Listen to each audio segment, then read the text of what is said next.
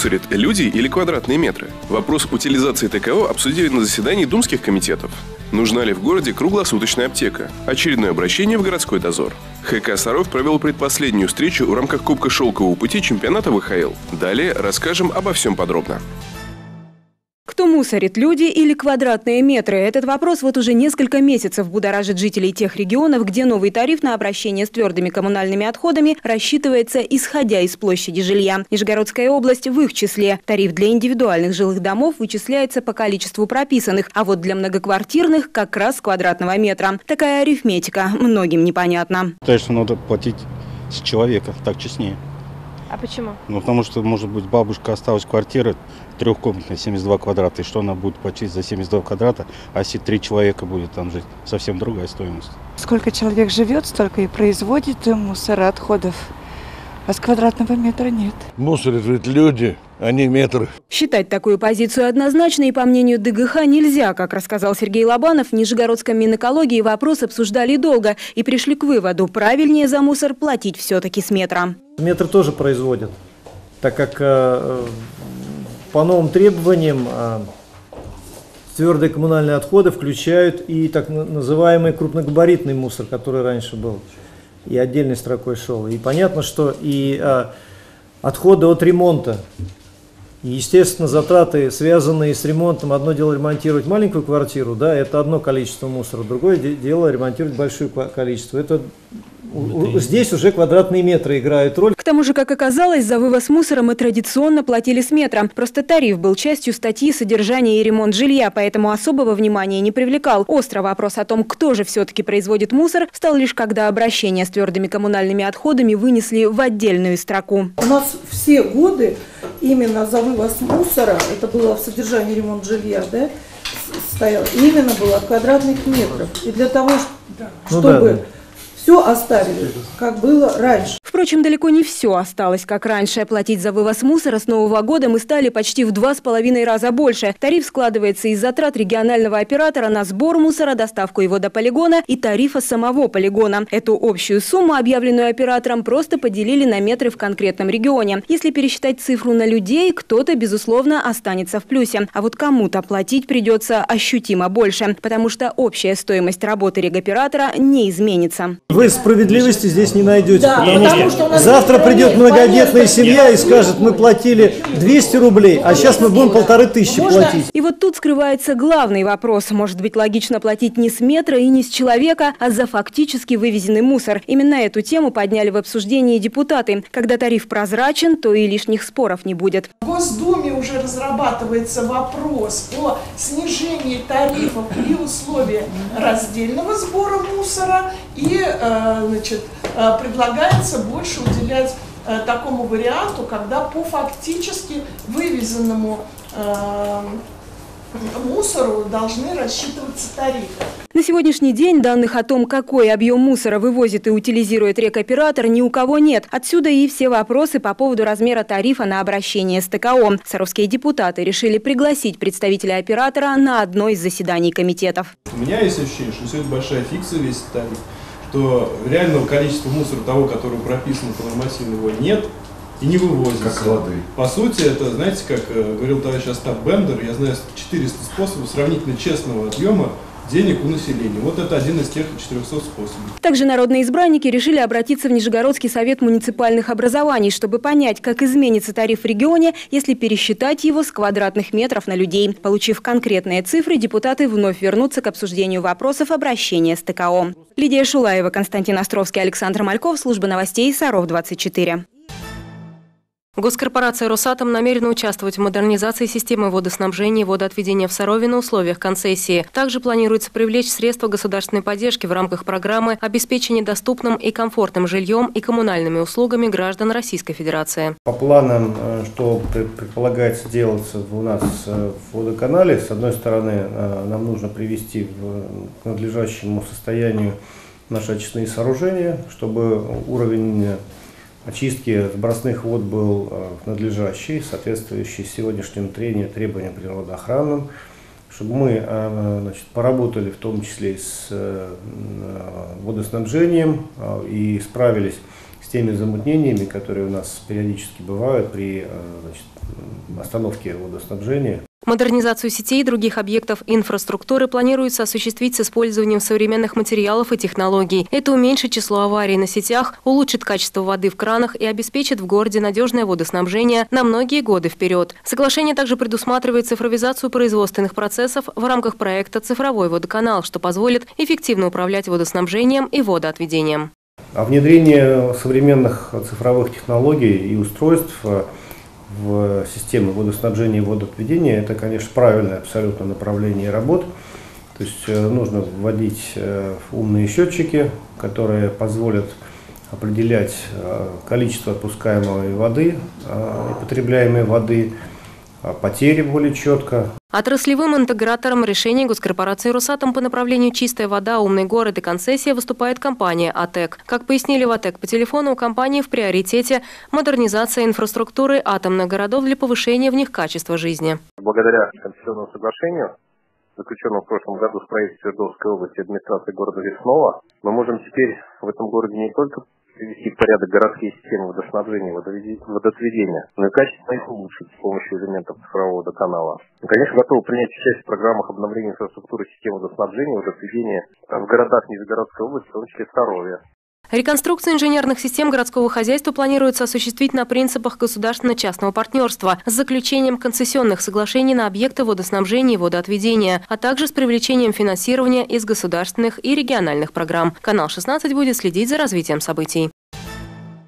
Корь – это острое инфекционное заболевание. Оно очень заразно, вирус легко передается от человека к человеку, и практически все, кто был в контакте с больным, тоже заболевают, если не переболели ранее или не были привиты. У кори характерные симптомы. Поначалу она протекает как респираторная инфекция. У больного появляется температура, кашель и насморк, конъюнктивит и боль в горле. Четвертый-пятый день появляется сыпь. Сыпь высыпает этапно. Вот при коре типичной сыпь начинается с лица – потом на туловище, на руки и потом уже на нижние конечности. В это время состояние больного очень тяжелое, температура может доходить до 42 градусов. Лекарства от кори не существует, медикаментозно можно лечить только симптомы. Прежде всего опасность представляют осложнения. Были осложнения такие, как и пневмония, и бронхиты, и энцефалиты даже.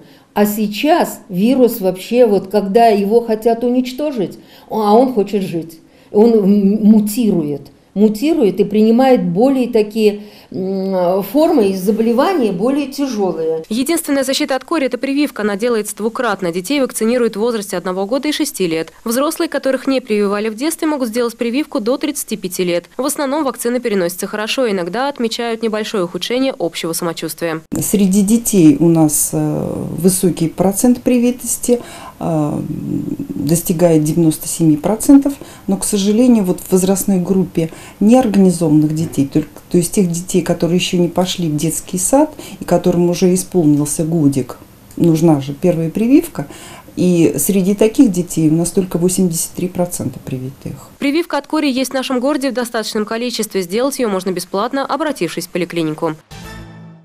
Боль, недомогание или обострение хронического заболевания. Такие неприятные ситуации могут поджидать человека в любое время суток, даже ночью. И хорошо, если в домашней аптечке найдется необходимое лекарство. В противном случае за нужным медикаментом придется бежать в аптеку. Только вот застигнутым врасплох саровчанам идти некуда. В городе нет круглосуточных аптек. Вечером, ночью понадобятся лекарства какие-то, и нельзя нигде купить. Очень плохо. Тяжело-то бывает не только до 12, до скольки, а круглосуточно. И все. Они должны быть. Большая проблема, я думаю, что это не очень хорошо, потому что если потребуется какая-то медицинская помощь, то людям придется вызывать скорую. Последняя круглосуточная аптека в старом районе сейчас работает с 7 утра до 9 вечера в открытом режиме, а с 21 до полуночи лекарства саровчанам отпускаются через специальное окно. Перерыв в работе аптеки составляет 7 часов. Если необходимость в лекарстве возникла именно в это время, горожанам предлагают обращаться в неотложку. Если э, какая-то ситуация ночью происходит, это явно это экстренная ситуация, да, оказать помощь мы э, квалифицированную в такой ситуации не можем.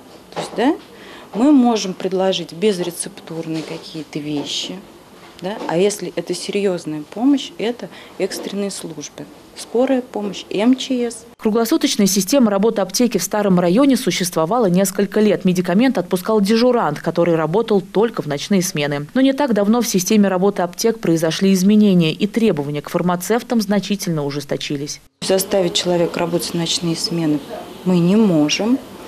Это и, и, и естественно, то есть это и неудобно для сотрудника самого. И охрана да, по-другому осуществляется. Э, ну, то есть как бы это чисто затратно очень по деньгам. А мы коммерческая организация, как и все остальные в городе. По словам сотрудников аптеки, в ночное время она не пользовалась большим спросом у саровчан. Основной наплыв покупателей приходился на дневное и вечернее время. А если необходимость в лекарстве возникла именно ночью, покупка обезболивающего ситуацию не спасет. Человеку необходима помощь врача, а не фармацевта. Это очень неудобно, потому что бывает по-разному. Больные люди, куда же еще обращаться? А в скорую бесполезно, потому что у них там, как правило, не бывает ничего. Температуру или что-то серьезное надо купить, надо ночью же идти. А ночью все закрыто. Куда бежать и к кому обращаться при боли или других различных недомоганиях, решать каждому. Но помните одно, мы сами в ответственности за свое здоровье. Дарья Цапарыгина, Владимир Лисик, Сергей Рябов. Служба новостей Саров, 24. Экскурсию для воспитанников студии журналистики молодежного центра и объединения «Фристайл» детской школы искусств номер два провела руководитель пресс-службы городской думы Ольга Щеголихина. Ребята обсудили с представителями власти важные для Сарова моменты. Например, речь шла о плате за содержание лифтов для жителей первых этажей, отмене школьных завтраков. Встреча проходила в формате диалога. Дети высказали свои предложения по острым социальным вопросам. Ребят также интересовало, с чего нужно начать, чтобы стать депутатом. В первую очередь, как рассказал Александр Тихонов, нужно обладать определенным набором черт характера уметь убеждать людей, обладать широким кругозором и быть честным перед своими избирателями. Не давать пустых обещаний, но в то же время реально оценивать ситуацию и людям как бы в предвыборной кампании э, реальные говорить обещания и так далее. Потом выполнять. И, конечно, много времени нужно на это, потому что есть ветеранов много, бабушки, им тоже внимание нужно в большой степени. Есть дети. Ребята только делают свои первые журналистские репортажи и начинают разбираться в политическом устройстве в Сарове. И подобные встречи помогают им лучше узнать, чем живет их родной город. В городской думе всегда рады встрече с журналистами. А с юными журналистами, конечно же, вдвойне, потому что это незажоренный взгляд, потому что это э, свои, свои мысли, э, новые, свежие. Почему важно для ребят побывать коридорах власти, если можно так сказать. Потому что нужно с измольства разбираться, как устроено наше общество. Интересно было посидеть в кресле депутата, поговорить с главой города, узнать, как проходит их собрание, также поговорить с заместителем главы города, узнать, э, что будет в городе нового, просто поговорить с ними, поговорить относительно школы, узнать что-то из их личной жизни. Подробный сюжет начинающих журналистов о работе городской думы, которая в этом году отмечает 25-летие, смотрите в мартовском выпуске программы «Наше время» на канале 16.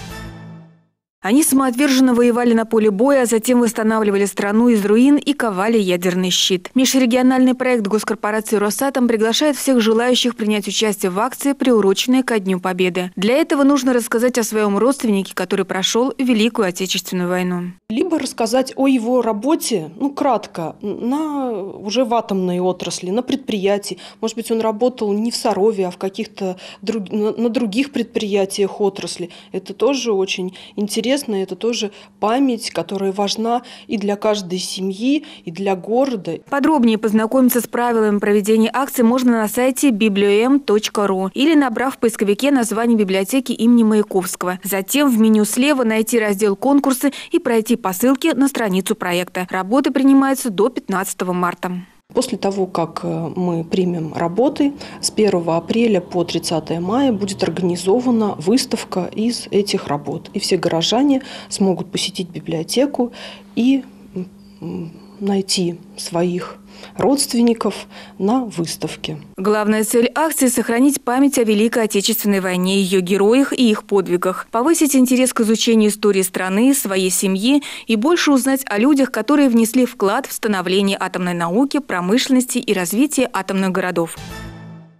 Заходя в любой подъезд дома номер 15 по улице Герцена, попадаешь в настоящую картинную галерею. Над созданием этих пейзажей и образов трудилось сразу несколько профессиональных художников. Идея преобразить скучные стены подъезда появилась у Ирины Михайловой давно. Своими творческими задумками она поделилась на собрании собственников жилья и получила поддержку. У меня, э, как сказать, с детства э, было, было такое представление, что люди должны жить в красоте.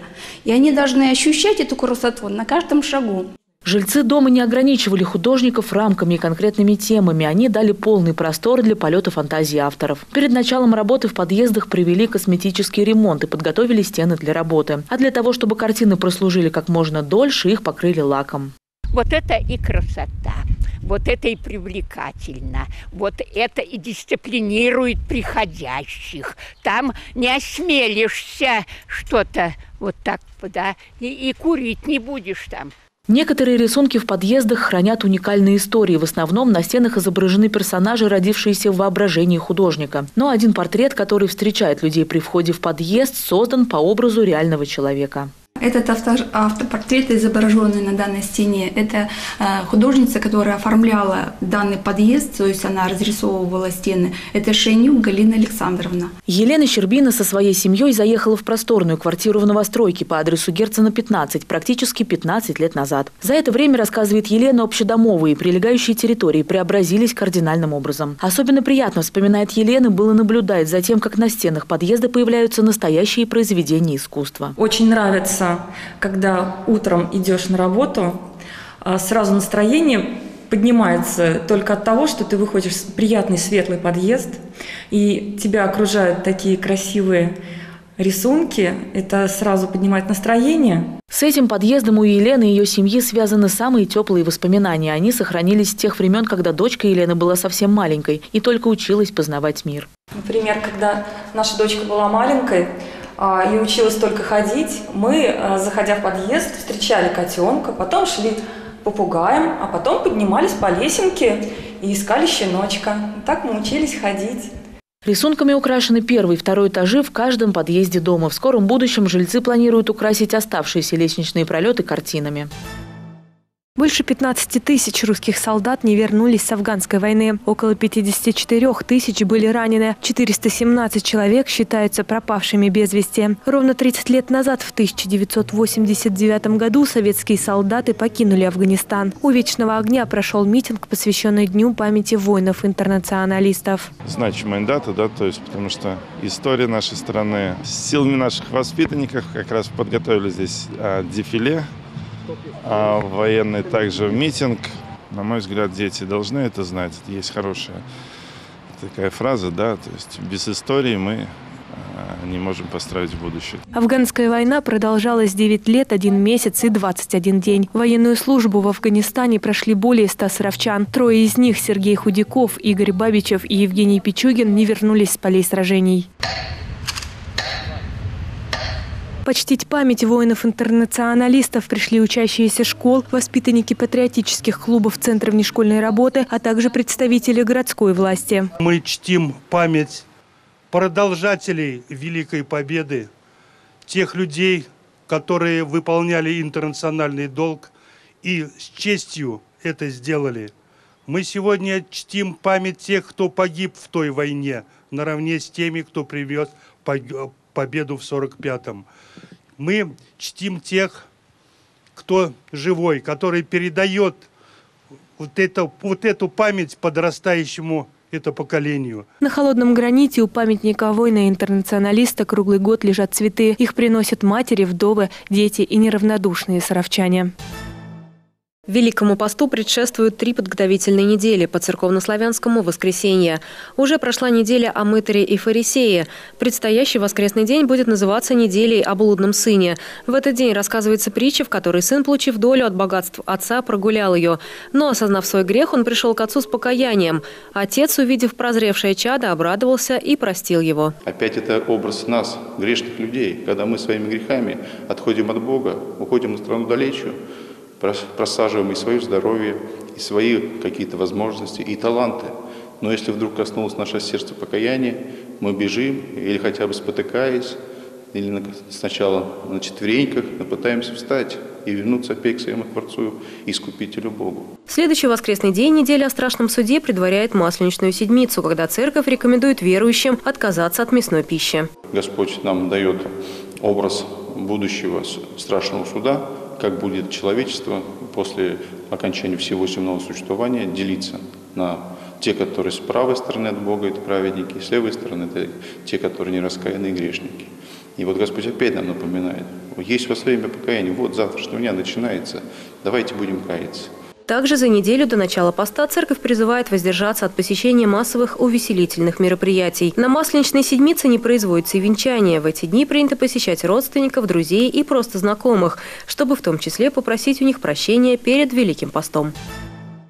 К песне Елены Фроловой «Апостол день» Алексей Лазарев присматривался долго. Автор писал это имени женщины, и переделать слова для мужчины-исполнителя у Алексея не получилось. Но музыкант все же решился на исполнение.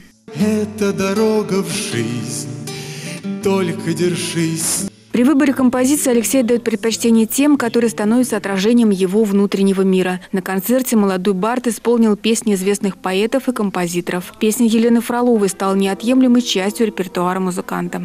Мне нравятся ее песни за то, что они очень открытые, а, искренние. Мне кажется, в бардовской песне это очень важно, когда песня именно пытается заговорить с, во-первых, самим исполнителем, а во-вторых, со зрителем. В третий раз концерт завершил цикл мероприятий Серафимовских дней в нашем городе. Если в прошлом году в программе были выступления православных и светских хоров, то в этом году организаторы решили погрузить зрителя в разговор души с душой. Название «Радость моя», обращение батюшки Серафимы ко всем людям. Этот концерт, конечно, посвящен любви. Любви в самом таком сокровенном, глубоком смысле. Бардовские песни исполнили воспитанники ЮКАП «След» и ансамбля настроения пятой школы, а также гости из Нижнего Новгорода. Визбор, Акуджава, Лора, стихи и музыка этих авторов проверены временем и актуальны даже спустя годы. Концерт авторской песни – это прежде всего общение посредством песни. Это беседа исполнителя со слушателем. И когда их души откликаются, эта беседа совершается, встреча друг с другом сердца, вот и достигнута цель. Лирические, православные, патриотические юные музыканты и вокалисты исполнили для любителей авторской песни и новые композиции, и, конечно, полюбившиеся произведения известных бардов. Особое внимание в Саровском физтехе уделяют научно-исследовательской деятельности будущих специалистов в технических областях знаний. Студент четвертого курса Александр Буркацкий учится на кафедре экспериментальной физики. Его научно-исследовательская деятельность связана с понятием сонолюминесценции. Этим направлением Александр заинтересовался еще на втором курсе и начал делать первые шаги в науке в лаборатории физики высоких плотностей и энергии. Это исследование может пригодиться в изучении сонной люминесценции, а это, если будет возможно, если это а, действительно так, то можно создать акустический термоядерный синтез на основе коллапсирующих пузырьков. На шести факультетах вуза учатся порядка тысячи студентов, 30% из которых иногородние. За успехи в учебе будущих научных сотрудников, инженеров и программистов поощряют именными стипендиями. В этом году 29 студентов претендуют на получение повышенной государственной стипендии. На ежегодной конференции по итогам года благодарственные письма вручили подающим надежды исследователям в области точных наук. Я считаю, что студенты, учащиеся в техническом, в техническом институте, должны заниматься подобными вещами, потому как если им это интересно, они должны этим заниматься. Если им это не интересно, то Зачем учиться в техническом институте? Не только парами, лабораторными работами, зачетами и сессиями наполнена студенческая жизнь. Не так давно на базе Саровского физтеха возобновилось движение студенческих отрядов. В летние каникулы их участники работают на предприятиях атомной отрасли, трудятся в детских загородных лагерях и на железной дороге. В нашем городе возрождаются строительные и педагогические отряды. Желающих попасть в их ряды достаточно много. Ребята должны быть отличниками и активистами, потому что э, всероссийская стройка – это не просто работа. Там каждый день это какое-то мероприятие, к которому нужно готовиться. На конференции студентов и преподавателей благодарственными письмами также отметили активистов общественной жизни вуза. Модель козлового крана для транспортировки контейнеров с мусором из арктических широт шестиклассник Роман Пронин собрал быстро. Мальчик увлекается робототехникой и с азартом принялся за решение конкурсного задания. Целый день это заняло программирование, конструирование, испытание создание поля. Целый день. Десятки деталей, провода, датчики. Робот на гусеничном ходу легко перемещается по поверхности, в нужном месте забирает груз и отвозит его на исходную позицию. Тестирование устройства прошло без сбоев. Роман признался, что изначально у него была другая задумка, но в процессе работы возникли проблемы с созданием программы. Для того, чтобы робот останавливался в нужном месте, для возвращения обратно в исходное положение – что-то не получалось, что-то переделали. Сначала у нас была совсем другая конструкция. Основная идея форума – знакомство участников с атомным ледокольным флотом нашей страны, привлечение внимания к этой перспективной отрасли и знакомство с ее основными направлениями. И пусть Арктика далека от Нижегородской области, для ребят это еще одна возможность попробовать свои силы в конструировании роботов-помощников. Для робототехников, на мой взгляд, любое задание – это челлендж, это возможность проявить себя, свои силы. И вообще любая задачка со звездочкой просто сама по себе интересна. В состав жюри конкурса вошли педагоги по программированию и робототехнике, а также сотрудники ядерного центра. Представленные на муниципальном этапе работы школьников соответствовали требованиям форума и вполне могли быть реализованы в промышленном масштабе. Очень интересные работы, ребята постарались, им нужно было изучить определенные конструкции, подходящие под реальные объекты. Ну, понятно, что в уменьшенном масштабе, но, тем не менее, их конструкции, будь они построены, например, в реальности, они бы свою работу осуществляли бы. В финале инженерного форума, который пройдет в марте в городе Сосновом Бару, конкурсантам за три дня предстоит выполнить практические задания, полученные от сотрудников предприятий госкорпорации «Росатом» и организаций, имеющих отношение к атомному флоту России и судостроению. Саровской хоккейной дружине удалось распечатать ворота самарских спортсменов уже на первых минутах матча. Во втором периоде хозяева льда подтвердили свое преимущество и смогли забить сопернику три шайбы, получив в ответ всего одну. На перерыв команды отправились со счетом 4-1. Устали проигрывать, бежали вперед. И ну, всем приятно болельщикам, всем тренеру. Как бы этот всем это нужно. Третий период оказался богатым на голевые моменты. С первых минут игрового отрезка соперникам удалось завладеть шайбой и забить в наши ворота гол, а после отправить еще два. Отыграться наши спортсмены смогли только в самом конце игры. Итог матча 6-4. Мальчишки не хочется, но мастерства вообще никакого просто нет. Ну и без обороны играть, как вышли все, проявить свои лучшие качества впереди, без обороны. А там люди-то есть, которые два раза в касание отдадут, да сходу хлоп. Самое главное достижение, что мы болельщиков Саровских порадовали. Они сидели, посмотрели, порадовались за свою команду. Главный тренер хоккейного клуба «Саров» Игорь Аверкин доволен игрой своих подопечных. По его мнению, встреча с хоккейным клубом ЦСКА ВВС оказалась сложной, но ребята справились и преодолели все препятствия, которые им создавал соперник. Соперник и имел преимущество и территориальной, так скажем, э, позиционных атаках. Мы удачно поймали на контратаках, забили. Сегодня оборона, оборона играла плохо. Ну, в целом, да, молодцы, хоть, хоть до конца бились. В этом году Саровская дружина не смогла пробиться в десятку лучших команд высшей хоккейной лиги. Заключительная игра в рамках ВХЛ для нашей команды пройдет 22 февраля в Ледовом дворце. Хоккейный клуб «Саров» скрестит клюшки с пензенским дизелем. Начало игры в 18.30. Олимпийская система, 7 весовых категорий, несколько комплектов медалей и 9 сборных. Военнослужащие Саровской дивизии надели кимоно и вышли на татами, чтобы побороться за звание победителя чемпионата по дзюдо. Дзюдо это гибкий вид спорта. Где-то надо уступить, чтобы выиграть. В армии где-то что-то, ну, также надо где-то схитрить и в конце концов выиграть. Также и дзюдо. Разрешены броски со стойки, с колен, удушающие приемы, запрещены захваты ниже пояса. И это только малая часть правил, которые необходимо строго соблюдать участникам соревнований. За их выполнением следят судьи. Для того, чтобы положить соперника на лопатки, у участников есть ровно 4 минуты. У нас не только дзюдо, много видов военно-прикладных, э, служебно-прикладных видов спорта, и в том числе вот олимпийский вид спорта дзюдо в целях э, популяризации спорта, также э, успешного выполнения служебно-боевых задач военнослужащими, потому что в повседневной деятельности необходимо им применять также боевые приемы, приемы борьбы.